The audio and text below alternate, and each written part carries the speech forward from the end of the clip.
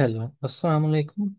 This is the LLM Auto Pen Tester group from the School of Mathematics and Computer Science. And this was our research project for final year project for our BScs degree. Next slide.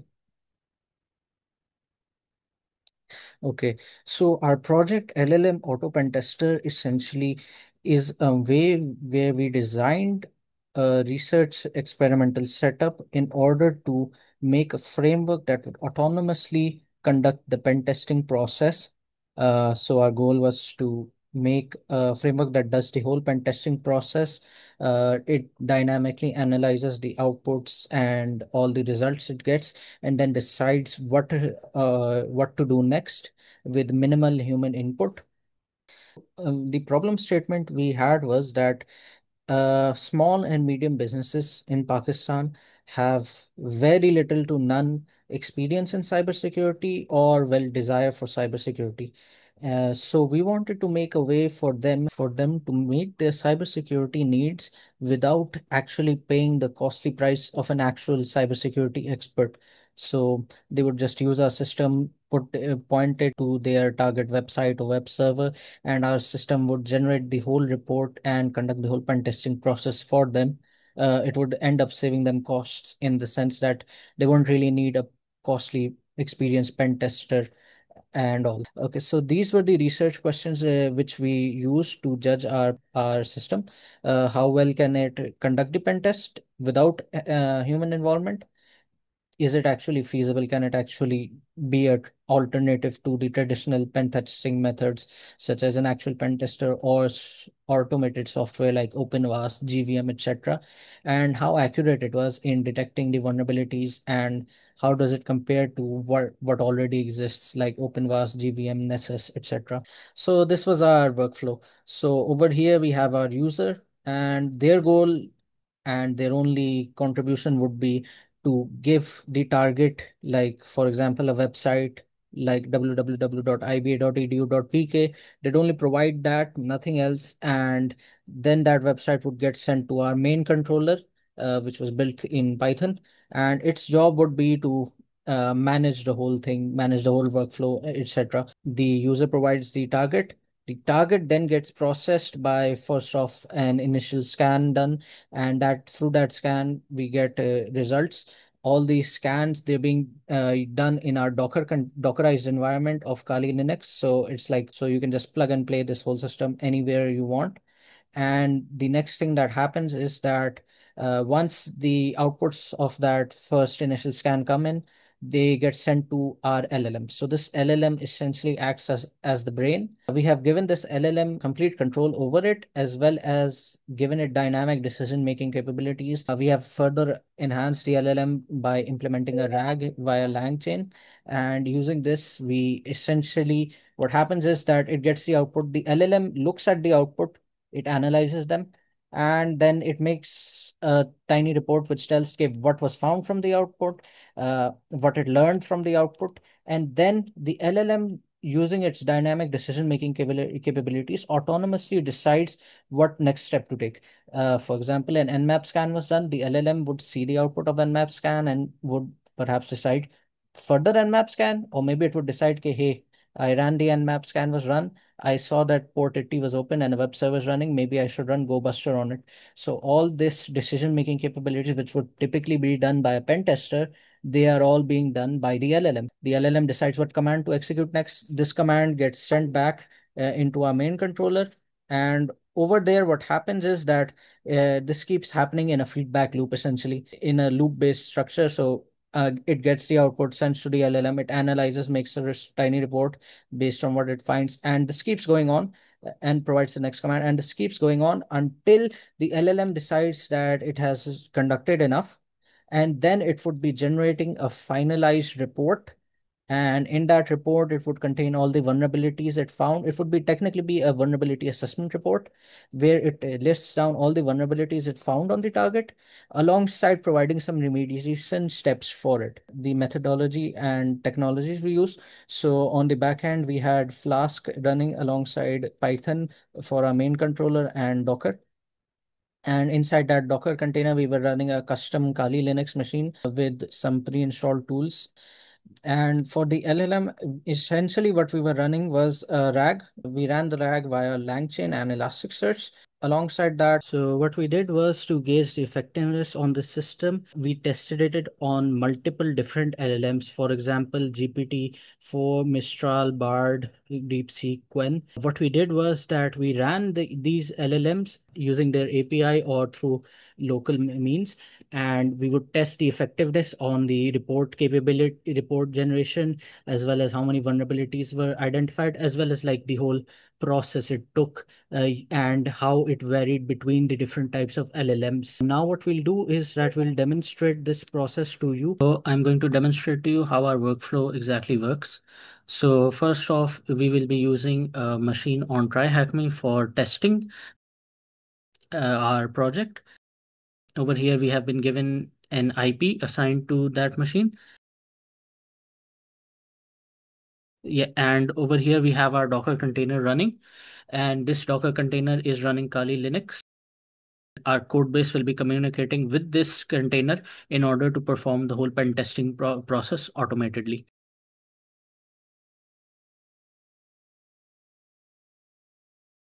This is our code base. Over here, we are running in LLM. And the beauty of our research paper, research project is that we don't really have to know what pen testing and everything is. Uh, all we have to do is just give the IP of our target, which was available on TryHackMe, and the LLM will autonomously conduct the whole pen testing process on it. So once we provided the IP, the LLM will start and the LLM starts by a first a fixed seeded command of nmap which we can see on the screen in the terminal. And once that command executes, then the LLM starts its whole flow. It gets an output from that nmap command, and that output is fed back to the LLM uh, with zero human intervention.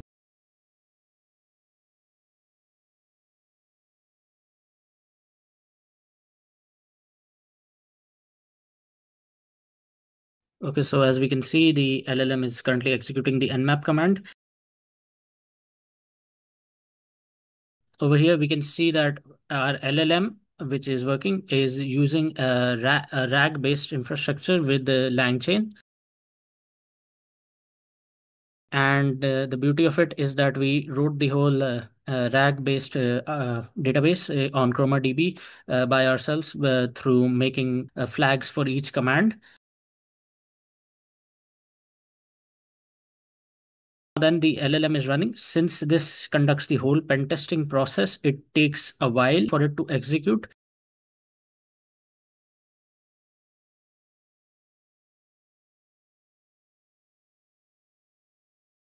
Okay, so as we can see, the nmap command has executed.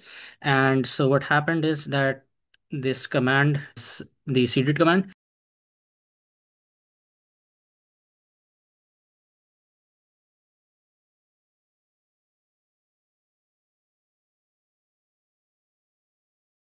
it got sent now to our LLM, which was running on RAG, running on using Elasticsearch.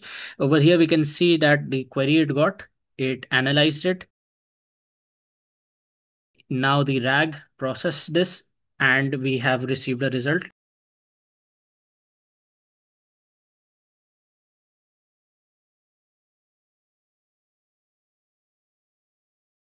Since the RAG got this output, the RAG also generated the next command which we are supposed to uh, uh, execute.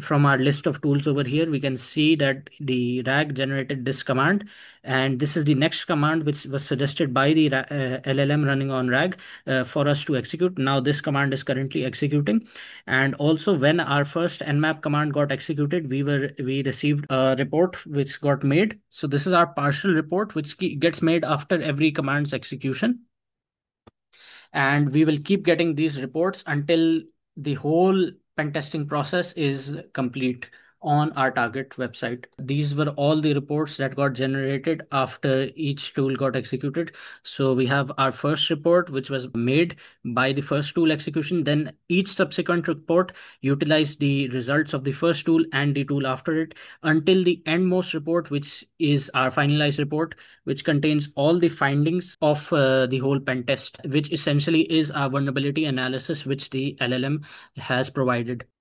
Okay, so over here we can see that this is the first report which was generated.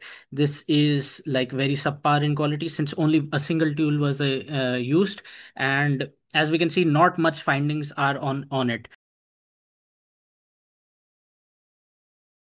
As we can see, this is the second report, and over here we see that certain more findings were found, such as CVEs were more were found, among other things. Like it has identified some of the services which was running as well. So as it continues on, it, it improves the report. It uh, makes more findings since it uh, the LLM uses more tools, and using this, as we can see in our finalized report, it is able to uh, summarize the critical findings on which services they were, as well as which CVEs the target website is uh, affected with.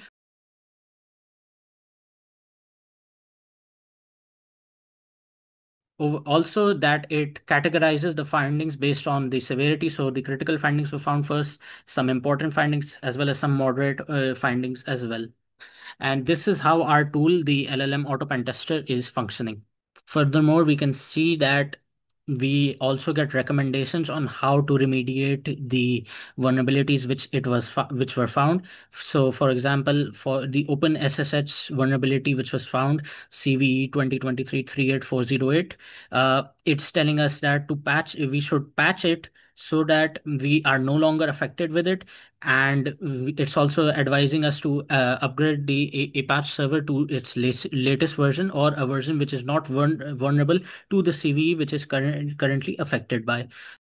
This is how our research project, the LLM Auto Pen Tester, is functioning in its way to automate the whole pen testing process uh, furthermore, as you can see, there was no human intervention at all uh, in this in this whole process. The only human intervention was of providing the IP, and after that, the whole the whole system ran autonomously without any human intervention, uh, solely utilizing the LLM, which uh, which had a RAG. LLM communicated with the Docker container, which was running Kali, and it did the whole process by itself. Finally, we would like to thank our dear supervisor, Dr. Faisal Iradat, without whose help we would not have been able to achieve this much. And we would also like to thank our mentor, Pete Herzog, uh, who guided us through this and was a great help in helping us make our system achieve what it is. Uh, thank you for watching. Allah Hafiz.